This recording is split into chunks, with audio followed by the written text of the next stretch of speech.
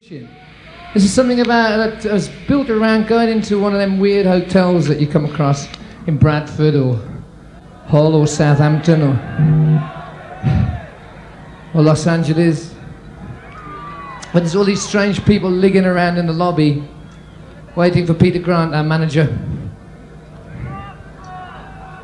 Because we have to be in bed at 10 o'clock every night like good footballers. Uh,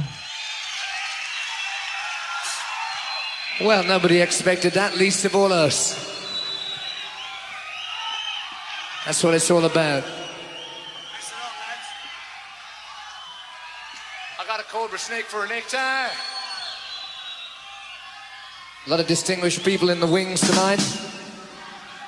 Uh, Mr. Peter Grant, known as Panama Pete to the Seattle police. Panama Pete. Peter Grant. Sorry, Peter, you didn't go down too well.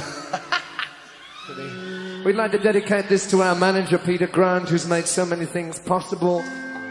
He's the man who gives us the blowjob in the dressing room.